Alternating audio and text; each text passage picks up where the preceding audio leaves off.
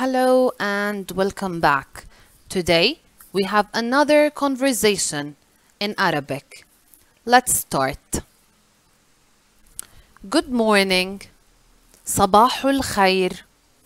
What time is it now? كم الساعة الآن؟ It is 10 a.m. إنها الساعة العاشرة.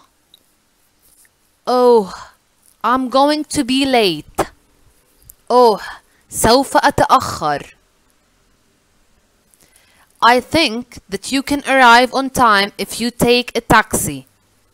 أعتقد بأنك قد تصل بالوقت المناسب إذا أخذت سيارة أجرة.